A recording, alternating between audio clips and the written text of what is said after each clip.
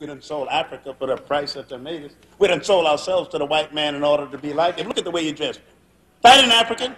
That's the white man. We're trying to be just like him. We done sold who we are in order to become someone else. We just everything imitation white man. Well, what else are we gonna be living over here? I'm living just me. I ain't no imitation, nothing. You can't change who you are by how you dress. That's what I got to say. It ain't all how you dress. It's how you see the world. It's how you follow It don't matter what you're talking about. I ain't no imitation white man. I don't want to be no white man.